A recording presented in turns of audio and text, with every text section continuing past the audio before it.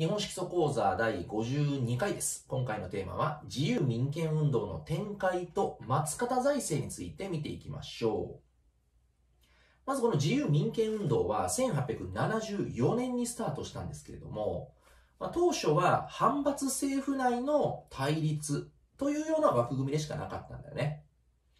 はい、ところが、次第にここにですね、豪農たちが参加していくことによって、民権運動は全国的に拡大していきました。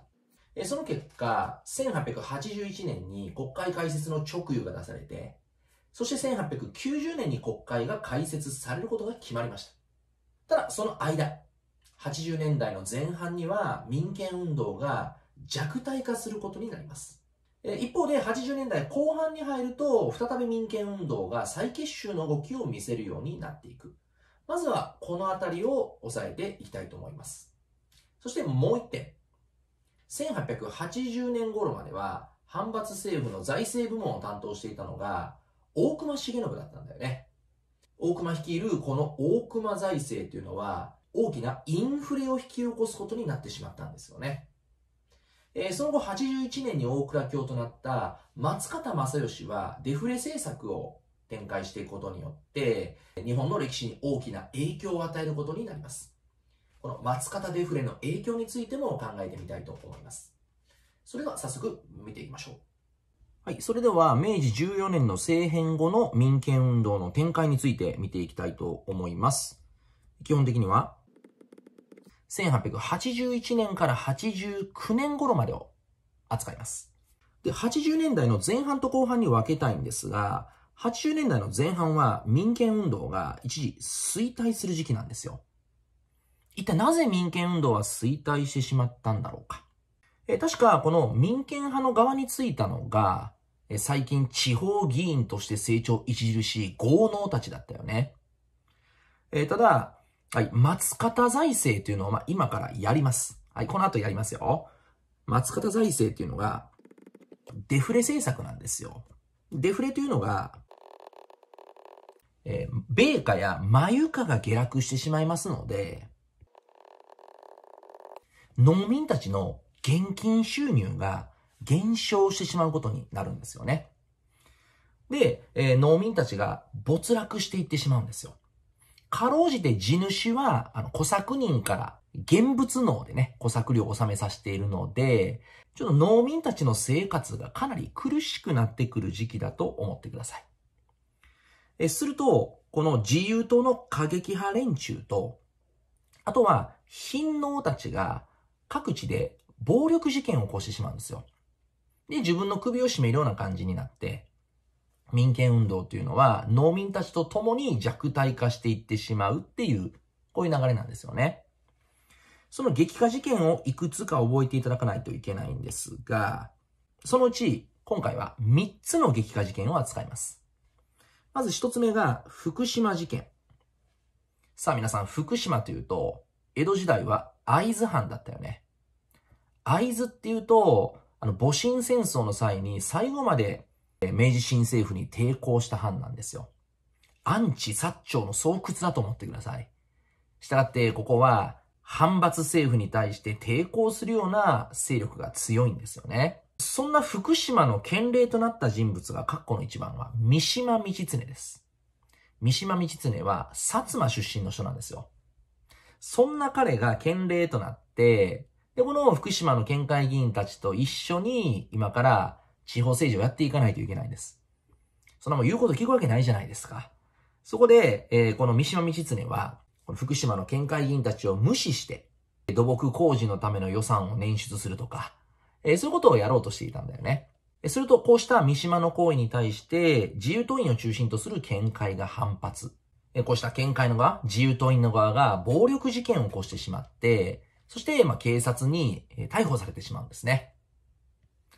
またそれ以外にも、茨城県のカバさんというところで、これまた自由党員による政府高官暗殺計画が発覚。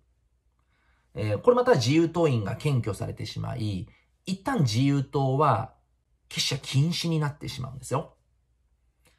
で、最後、括弧の2番ですよね。これは農民たちが起こした事件で、秩父事件と言います。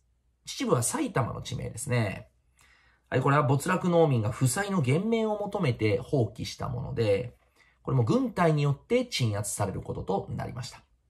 農民は民権派のこの過激な事件というものを模倣して自分たちも秩父事件を起こしたんだよね。はい、こうした激化事件以外にも、丸の3番を見てください。民権論者の一部の者たちが、国権論へと傾斜していく。国権論というのは、あの、民衆の利益を第一に考えるんじゃなくて、もうちょっと国の利益を第一に考える。国が強くあるべきだっていうことを一番に考えるような、そういう思想だと思ってください。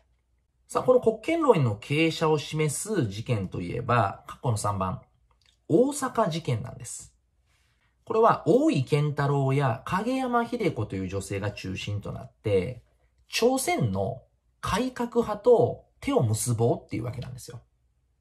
で、まず朝鮮の方で、ビンヒ政権っていう当時の政権を倒す革命を成功させると、今度は彼らの力を借りて、国内においても反発政府を倒すと。えこうした民権運動再起を計画したものなんですよね。ですが彼らは朝鮮に渡る前に大阪で逮捕されてしまって、えこの計画は失敗に終わりました。また、あの、福沢諭吉という人がいるんですが、福沢諭吉はもともと功利主義って言って、学問の進めに代表されるように、えー、立身出世を解こうとする、個人主義の信奉者だったんですよね。人生の幸福のためにはみんな自分の利益というものを追求したらどうだって言ってたんですけれども、えー、彼も80年代の中頃には脱ア論というものを説いて、自ら発行する新聞、時事新報の中で中国や朝鮮などの東アジア諸国とのつながりを第一に考えるんではなく、欧米の側に立って、この東アジアに進出を果たしていくべきであると。はい、このような立場を取ったわけなんですね。まあ、これもいわば国権論と言えそうです。さあ皆さん参考資料には、え、民権運動の激化事件について挙げておきました。意外とね、こう福島事件とか結構場所がそのままじゃないですか。ただこれ名前見て場所が分かりにくいものよく問われるので、あの、茨城のカバザン事件だとか、さっき言った埼玉の秩父事件ね。あのね、新潟の高田事件とかどう？新潟って分からないと解けませんよね。で長野の飯田事件はあんま出ないかな。名古屋事件とか静岡事件とか群馬事件ってそのままやからね。この辺は出しにくいと思います。さあでは弱体化した民権運動が80年代の後半に再結集していきます。そのきっかけとなったのが、丸の1、カッコの5。大道団結運動です。はい、これは大きな同じ目的のためにライバル同士が手を結ぶ。さあ、そのライバルというのは、元自由党員と立憲改進党員ですね。片やフランス流、片やイギリス流と。最初は2つに分かれていたんですが、今から手を結ぼうじゃないのか。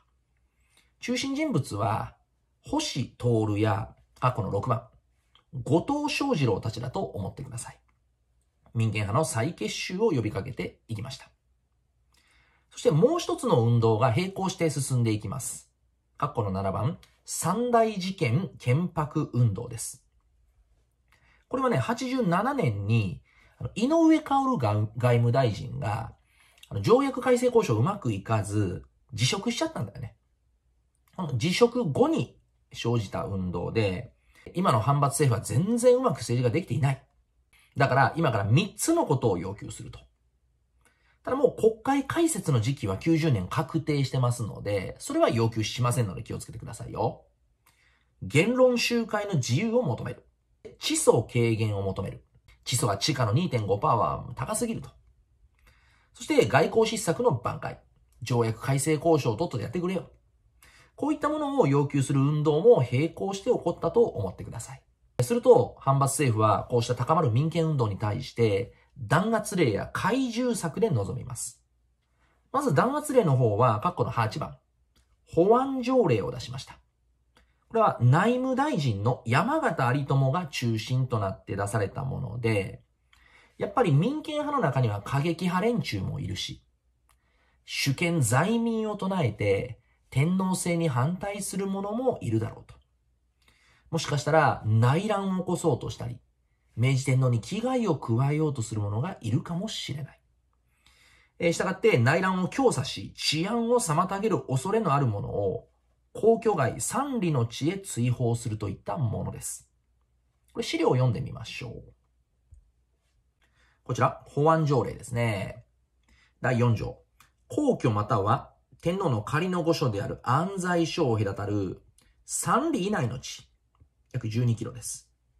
ここに住居または寄宿するものにして内乱を陰謀、または強殺し、または治安を妨害する恐れありと認めるときは、警視総監、または地方長官、または内務大臣の認可を経、期日、時間を限り退去を命じ、3年以内に同一の距離内に出入り寄宿または住居することを禁じるといったものなんです。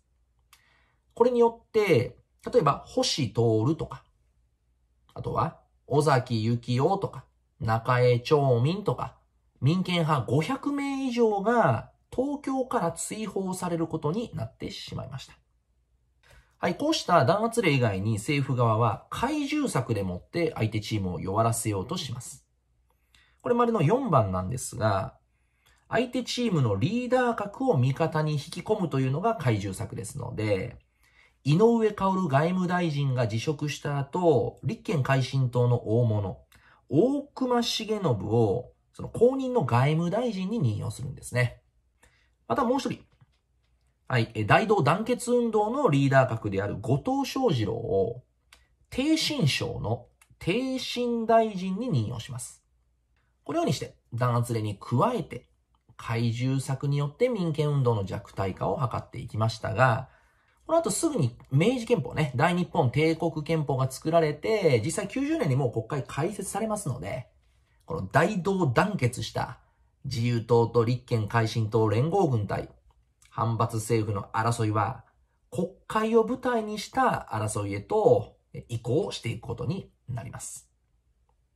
ではもう一つのテーマ、大熊財政から松方財政へというところを見ていきたいと思います。まずこの大熊重信って肥前出身の人なんですが、あのね、もともと大蔵卿を務めていて、政府の財政部門を握っていた人物なんだよね。えー、彼が大蔵卿を務めていたのは、72年から80年。この時期はね、めちゃくちゃお金を使った時期です。やっぱり一番お金を使ったその原因となったのは、上からの近代化。食産工業だろうね。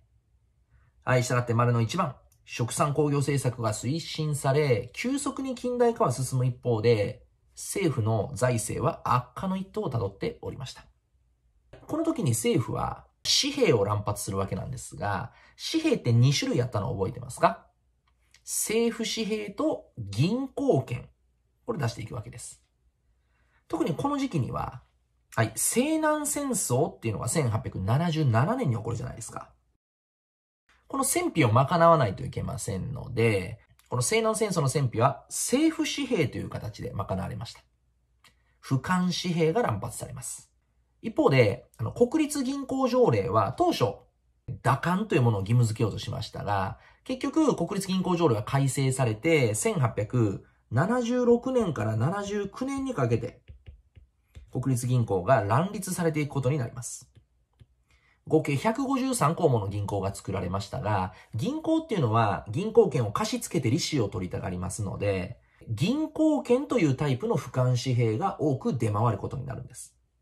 こうした通貨量が増加した状態はインフレーションと言います。インフレって言ってもらっても大丈夫ですよ。インフレという言葉を聞いたときには大きく2つの内容を考えれるようにしてください。まず1つ目。通貨量が増加した状態です。俯瞰紙幣が奥で待ってますから。となってくると、貨幣価値は下落します。大丈夫ですね。量が増えると価値は下落するんですよ。で、二つ目。物価が上昇した状態を指します。えすると、日本製品の値段が上がるんですよ。うんだから外国の人たちからしても、日本の製品ってちょっと手が届きにくくなるので、日本製品が売れにくくなるよね。また日本製品の値段が上がるってことは、日本の民衆たちもまた外国のその商品、同じ商品を求めようとするので、どちらかというと輸出が減って、輸入が増加することになる。ここね。はい、輸入が増加することになると、これは金貨や銀貨の流出へとつながっていきます。当時貿易は銀で行われてましたので、これは銀の流出へとつながっていってしまうんですよね。さあ、あともう一点なんですが、政府の収入自体は毎年変わらないんですよ。なぜならば、基礎収入というのが地価の3%ないしは2.5%。これをお金で納めさせる。その額面の金額自体は変わりません。ただし、この部分、貨幣の価値が下落するっていうことになってくると、金額自体は変わらないんだけれども、価値が下落してるんですから、これは政府の基礎収入は実質減少しているようなものなんだ。こういうのってわかりますか？例えば皆さん、1学期全国模試で、え日本史60点取ったと。点数低いな。もうちょっと上げよう。日本史80点取ったと。これはもう偏差値で言ったら65とか、もしくは70ぐらいつくかもしれませんね。うん、なんでそんなに偏差値が高くなるかっていうと、平均点が低いんですよ。んな中で80点取ったんですから、めちゃくちゃ価値がある。ところが、はい、2学期の模擬試験。これも80点取ったと。すると、2学期の模試なんて言うと平均点60点ぐらいなんで。はい。ですので、偏差値は60ぐらいしかつかないと思います。見た目は同じ80点で同じなんですけれども、え、1学期に取った80点の方が価値があるんですよね。だから2学期は80点取ってるんですけれども、実質成績は上がってるとは言えません。成績は実質的には下がっているんですっていう。こういう考え方とよく似ているんじゃないかと思いますけどね。でですね、大隈重信もアホやありませんので、このままだったら財政破綻することぐらい分かってます。これね、最後のね、79年とか80年ぐらいになると、ちょっと緊縮財政に転換していこうという動きは見せるんですよ。そこで、えー、官営事業っていうのを今から民営化していくにあたって、工場払い下げ外則というのを制定します。これはかえって払い下げが進まなかったと言われますよね。で、そうこうしているうちに、明治14年の政変は1881年だ。はい、これで参議大隈重信らが罷免されてしまいましたので、大隈財政はここまで。で、過去の11番。薩摩出身の松方正義が大倉教に就任することとなりました。この松方を中心とする一連の財政改革のことを松方財政と言います。それでは過去の2番に入っていきましょう。松方が、このね、大倉教、そして大倉大臣を務めるのは、実は92年頃までから務めます。ただしこの一連のデフレ政策を中心とする財政はこの松方財政はというふうに言われたら、これ86年頃までで留めておいても良いかもしれませんね。と、丸の一番、緊縮財政なんで、デフレ政策を進めていってください。あの、インフレってほっといたらインフレになります。デフレっていうのは財政を引き締める、節約するわけですから、これは政策として痛みを伴うんですが、頑張ってやっていくものなんですよ。収入増やして支出減らせば、えー、これは財政が良くなっていきますので、早速なんですが、まずは増税していきます。あの、増税するったって、あのね、地層を増やしてしまうと、これ暴動につながります。そこで、酒税などの間接税を増やすことによって増税を図りました。で、支出を減らすんですけれども、これも、え軍事費を今減らすことができませんので、軍事費以外を抑制すると、ここまで丁寧に覚えてください。またこの後80年代の外交史をやればわかるんですが、同じ時期に、あの、朝鮮において、人語事変とか、更新事変というのが起こって、日本軍がそこに積極的に介入していく時期なんですよ。だから軍事費を減らすことはできないんですよね。はい、そして丸の2番。これは大隈財政の末期を引き継ぐ形になったんですが、えー、官営事業っていうものを払い下げていきます。工場払い下げの本格化が進んでいきますが、あの、大隈重信が作った工場払い下げ外則のようなものは廃止してください。はい。で、今から何をどこに払い下げたのかっていうのを覚えてもらいますが、ちょっとあの参考資料の表でも見てみましょうか。はい、こちら。関営事業払い下げについて。まず、政府は軍事費については節約する気ありませんので、はい、この軍事工業、東京砲兵交渉や大阪砲兵交渉などは払い下げず、これよく聞かれます。続いて、三井に払い下げたものは、下から二つ目の富岡製糸場、三井です。えさらには、三池炭鉱。これ三池炭鉱は福岡県だ。はい。これはね、佐々木八郎に払い下げた後三井です。こっちで十分なんでね。この二つを覚えておいてください。続いて、三菱に払い下げたものは、はい。長崎造船所三菱。三菱は長崎のイメージ強いよね。で、同じ長崎県の高島炭鉱、後藤翔二郎後三菱だ。三井二つ、三菱二つ。一応こんだけ知っておいてくれれば大丈夫かな。で、また、あの、郊外問題のところで出てくるのが、足尾銅山ね。これ古川一兵衛に払い下げられますが、まあこれねもう明治初期なんで。はい。でもこの松方財政の時期ではないので、足尾銅山は古川一兵衛が経営してるっていうことだけ知っといてくれたら十分ですよ。はい。ということで、三菱に払い下げたのが長崎造船所と、括弧12番は高島を入れてください。そして、えー、三井に払い下げたものが富岡製糸場と、括弧の13番は三池を入れておきましょう。はい。このようにして、えー、松方正義は、えー、財政支出というものを減らすことに成功したんですね。これをですね、あの、通貨量のグラフを見ることによって確認したいと思います。今度参考資料にも挙げているこちらのグラフを見てください。皆さん、70年代の後半っていうと、これ大熊財政だよね。大熊財政は通貨量が増えていってますよね。見てください。大丈夫ですね。通貨量が増えていってます。政府紙幣、そして国立銀行紙幣ともに俯瞰紙幣がどんどんどんどん増えていっているわけなんですよ。えすると、え物価が上昇してしまって、輸入超過になって、成果が流出してるんで、ここ見てください。効果が減っていってしまっている。効果は銀で考えましょうね。銀が海外に流出しちゃってるんですよね。はい、ということで、打艦制度なんていうものを取ることはできないわけなんですよ。ところが、松方財政はここ。80年代の前半に、はい、この緊縮財政によって紙幣を減らしていくと、物価が下がっていきます。